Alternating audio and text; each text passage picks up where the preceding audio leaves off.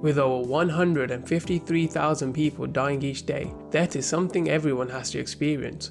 So, what actually happens to your body when you die? While as you're no longer breathing, oxygen in the body depletes, the brain stops functioning, so hormones are no longer secreted and bodily functions cease. The heart is no longer pumping blood around the body, so gravity causes the blood flow to go down to the lowest part of the body, giving the person a pale look.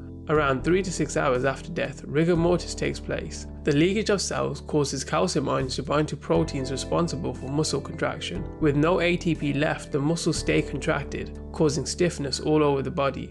The rate at which rigor mortis occurs is affected by age, gender, and the environment.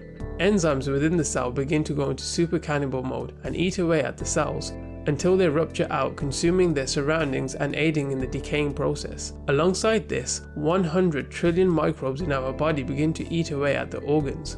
This is known as putrefaction. The internal decomposition of our organs by the bacteria produces a distinct smell that attracts insects such as blowflies and mites. The blowfly lay eggs, the eggs produce larvae which eat away at the body for weeks, creating holes in the body for which the cellular fluid and gases leak out from. The next stage is known as dry decay, where beetle larvae, fungi, and other microorganisms feed off the body. This stage can take around 20 to 50 days.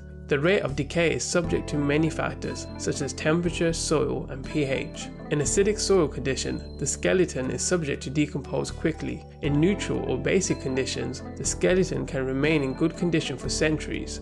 That is if small animals don't get to the skeleton first.